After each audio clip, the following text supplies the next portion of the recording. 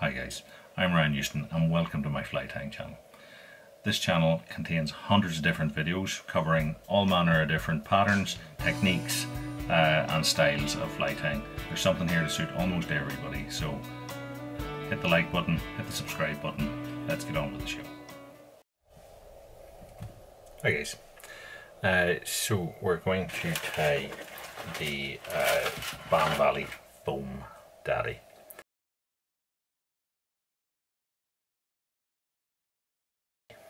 So we're going to use the uh, the streamer style hook here and what I'm going to do is we're going to tie the majority of the fly on the front half of it. So this fly has uh, a foam cylinder so this is like a tan foam cylinder which I think is a very close approximation here to uh, to Daddy Longlegs colour. We have a Sybai grey flash dubbin, that's going to be our thorax. We have some knotted pheasant tail, which we're going to use as the legs. We have our Bann Valley genetic hackles, which we're going to use as both wings and hackle itself.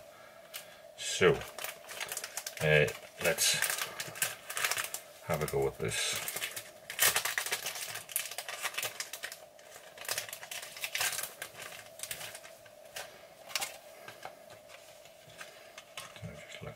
hackles. It's a nice sandy colour.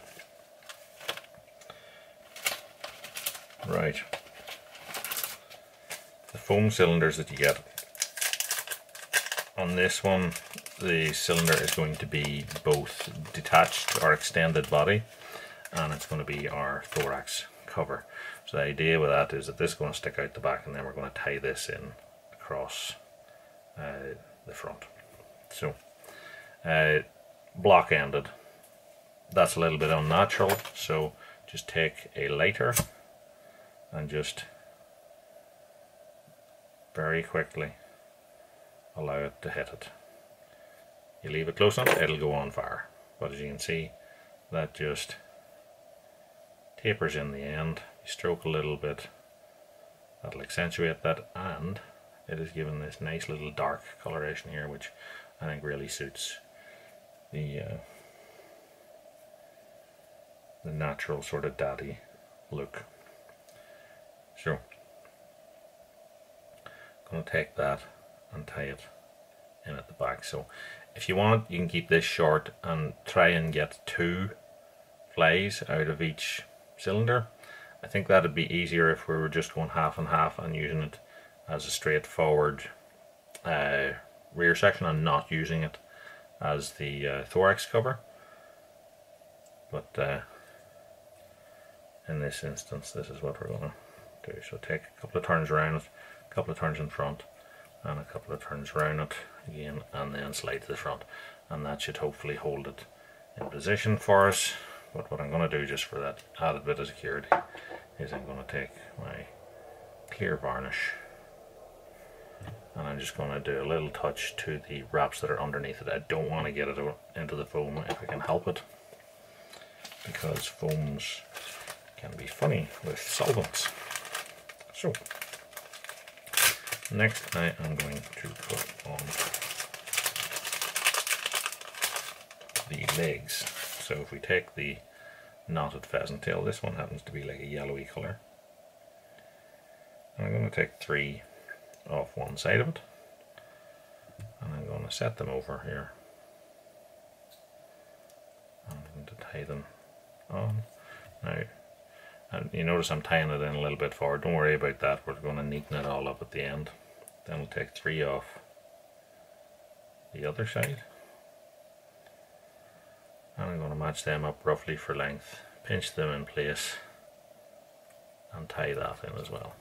So now what we want to do is just stroke all back, pull back the cylinder and then get our wraps tight up to the back of the cylinder here. And that as you can see will throw out the legs for us. So we want to get some wings in as well. So we have our Bann Valley genetic hackles here.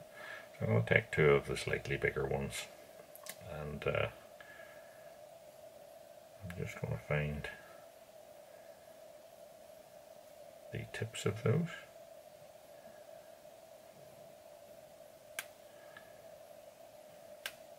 And break them off.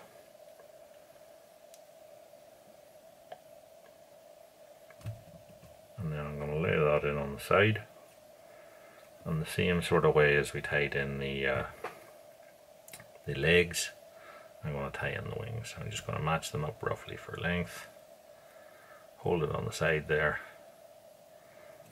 and when I'm happy enough with them what I'm going to do is just pinch them in tight and tie back. So as I said, I want to make sure that one is either side of my uh, foam cylinder, so it's dividing them as you can see now, they're sticking out sideways. All this stuff here then, we trim off. So, uh, next we're going to put in the hackle. So, the one thing I would say to you is this fly would fish absolutely just as well as it is. It would be something that lays in the surface film. So you could tie it hackleless if you wanted, in which case I would just shift everything further up towards the front and I'd make a much smaller, maybe this, of a uh, thorax. So we now want to pick a hackle so I'm just putting them on here to size them. And it depends really on how bushy or otherwise you want this to be. So to go for a slightly larger one.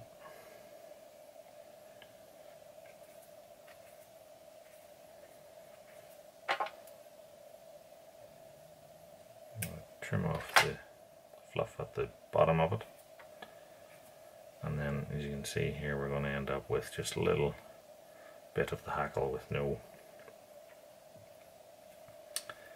no fibers left on it. I'm going to tie that in and tie that tight up to the foam cylinder and then I want to dub on the body. So the body is this flash nymph grey. I'm take some of that. And going to take my wax.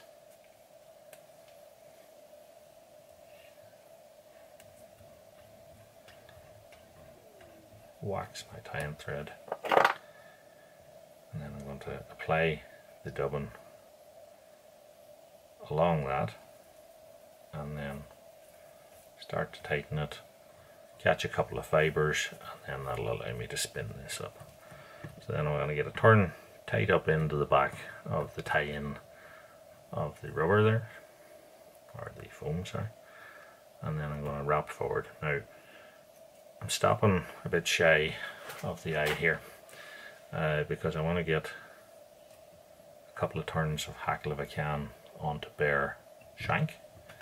And I also want room for this to come across the top tie in. So we now take our hackle pliers and ordinarily you'd rib this but because it's going to have the thorax cover that will hold the turns of hackle in place so it's not necessary to rib it.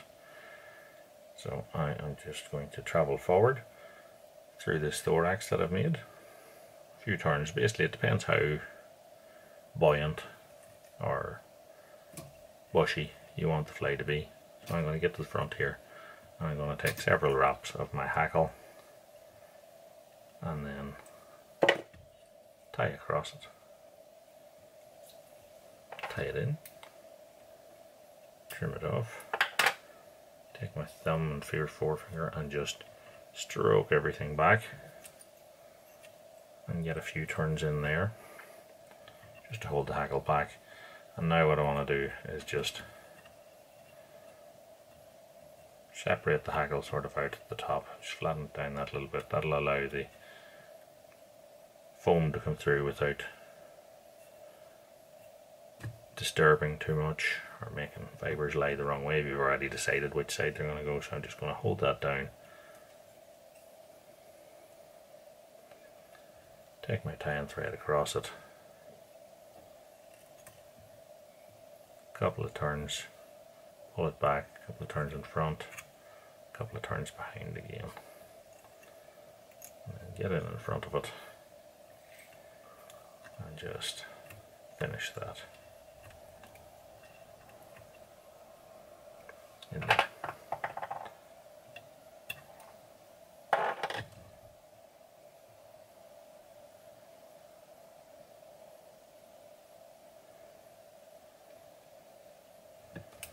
So now I'm just going to take my scissors. And I'm going to cut that off a block. And uh, the shape of the front of this fly will allow you to fish it flat as a as a dry or just straight or you could strip this and it would sort of act a little bit like a gurgler in a way because of the uh, shape and nature of it it certainly shouldn't sink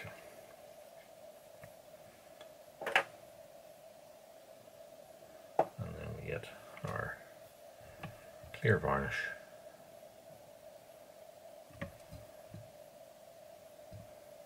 and varnish the head and that's the flight tied so that is the Bann Valley Daddy. Now, as I said, we can alter the way that we tie this fly. Uh, so obviously we could use different coloured uh, knotted legs. You could use a red game cape uh, and that would alter the uh, colour of the hackles etc. The hackle tips you can mix and match. Um, as I said if we use a different hook we can change the shape of it as well we could tie this fly very much uh, more compact uh, and the wing and leg positions we can also alter so at the here I've chosen to have them coming out at the back but you could just as easily tie all forward uh, tie your fly and then fold them back so they're coming from the front. Uh, uh, so have a go and see how you get on